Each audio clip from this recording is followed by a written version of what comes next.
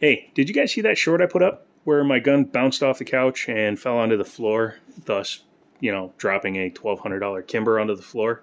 Technically $1,400 Kimber because my Kimber has uh, upgraded sights, but uh, yeah, um, it didn't feel good when I did it. That's why I paused and looked like an idiot. But uh, I'll just show you. Um, thank you guys for those that were concerned and left me messages. But yeah, it, it's fine. It's just I, I scratched the finish when it landed on the floor because the way it was sitting in my holster was unprotected there, which was unfortunate, but it is what it is. I'm not too worried. This is a carry and a shooter, so um, in case you didn't notice, I also upgraded my sights. Uh, the fiber optics, I changed them. They were dull. Anywho, that's not the point of today's video. I just wanted to give you guys a quick update on that. Uh, what I have today is this guy's little cousin. And by little cousin, boy, do I mean little cousin. I mean, it's barely as long as this thing is tall. This, if you didn't know, is the SIG P238 fingerprint magnet.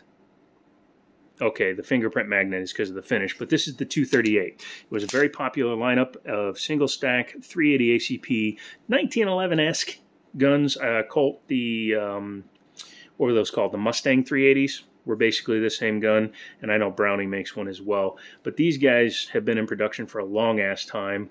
Um, pretty reliable guns. The only downside is in today's world, single stack just isn't enough.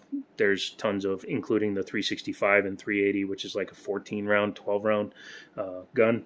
But digress. If you're a 1911 guy, if you're an all metal guy, that's a big thing. The only all metal guns that are about this same size would be the Smith and Wesson CSX and maybe one other one. Um, PPKs and stuff are actually bigger than this guy. But today we're talking about this one. As you can also see, this one has a beautiful finish on it.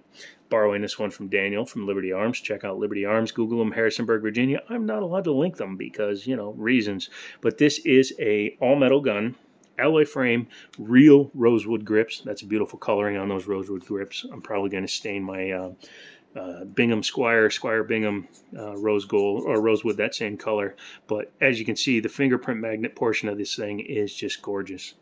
Looks like a burned metal. They call it a rainbow titanium, but it's gorgeous. You can see even like the grip screws, any metal uh, screws or pins or anything that go through the gun are all that coloring pretty nice. Has a extended magnet on this one, so I can get my whole hand on it, which is, in my opinion, a little bit of a downside to a lot of these little guys, but that's also because I'm six foot four and I have big, giant gorilla hands. Uh, single action only, just like a 1911. However, you will see outside of the grip safety, which is very definitive, and it's your standard up for safe, down for fire, uh, it does not have a grip safety on it. Grip safety. This one does not because it uses a completely different fire control group, which we'll take a look at when we pop the top off. But it is still single action and it is hammer fired. Uh, here, let me show you the trigger pull. It's about six and a quarter pounds, I believe, on my scale, and it's not bad. Now, it's not 1911 crisp because it is not a 1911 trigger. This is more like a Browning trigger, Browning high power trigger. You'll see again when we take the top off, the reset is right back out to where it breaks and then goes right into the next shot. The follow-up shots are very nice and easy to get. It does have night sights on it, which is probably for the best because with that super shiny top, this thing's probably a nightmare in bright light situations. I mean, you can just see it looks fake the way it's just shining, reflecting all that light. Uh, the trade markings are subtle, which is nice.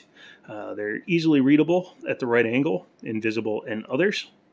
And again, I like how all the switches, and the mag release, everything except the trigger, the hammer, and the ejection or chamber of the barrel are all the same color, which is really nice. Hopefully this is all staying in focus. The phone I'm using had an Android 12 update and it's caused some issues. So let's go ahead and pop the top off, take a look at it. In order to do that, you open her up, make sure there's nothing in it. Yep, Yep. You will notice that unlike a standard 1911, I would normally be doing that and taking a bushing tool to the front, but this is a bushingless system. Good noise. But you can just go ahead and drop that down because all you're going to do to take this one apart is bring it back to the takedown notch, which is still in the factory position. And when you do, you're just going to kind of plop out. The takedown lever. Pull the lever, Kronk. Yeah, which lever? But once you do that, you will see that the top will come right off. Very much Glock-ish, newer gun-ish, striker fire-ish, gun-ish, even though this is a hammer fire gun. But all you got to do is take your guide rod and shoot it across your couch. I was about to say it's non-captive, so be careful of that. And uh, I have to stand up for a second because it just fell down the hole. A very small guide rod for a very small gun. This spring does not have a closed end on it, so it doesn't matter which end it goes back in. And then you have your tiny itty bitty barrel. I believe that's a uh, two knuckle barrel. This being the United States of America, we don't actually measure correctly, although they measure it from the back of the chamber, so technically this is a three inch barrel. Taking a look at the inside of the slide, this gun has been fired. That's why I was not afraid to rack it. If you see looking down the front there, uh, inside the breech face, it does have quite a bit of buildup in there. Uh, this titanium finish they use is amazing. Uh, for even if it has 50 rounds in it, it's not showing anywhere. I believe it's got more than that though. The guy that traded it in actually shoots his guns, which if you're carrying a gun for self-protection and you don't shoot it, get a different gun. Get one you're not afraid to use believe that's exactly what he did. He traded up. Uh, the frame, again, alloy, very light. Mm, probably weighs about the same as the barrel, to be honest with you. Uh, as you can see looking down there, you see it's completely different from a 1911.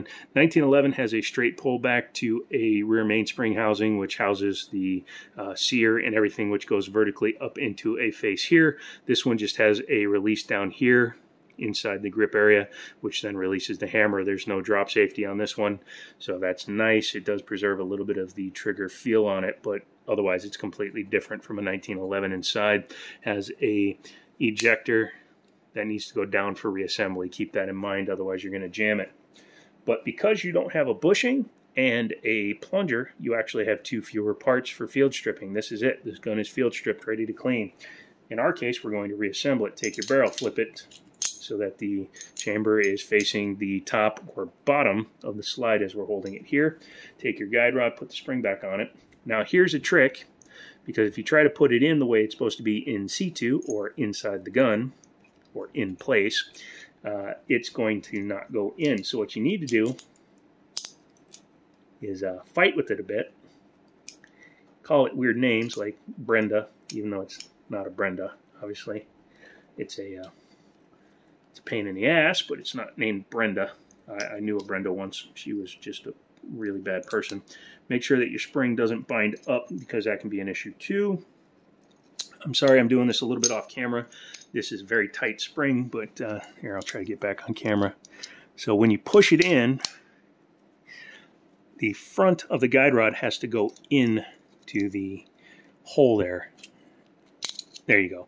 But as you can see, the guide rod is actually upside down from the way it's supposed to be sitting. That's the only way you're going to get it in there because these two little tabs sticking down will block the guide rod from going forward enough to drop it into place. What you have to do now, and of course I bit my nails off because I'm a nervous biter, is spin the guide rod while you're holding it in place, which again, pain in the ass, but it is doable if you're just a little bit patient. Once you've done that, you'll see it's back in its correct orientation.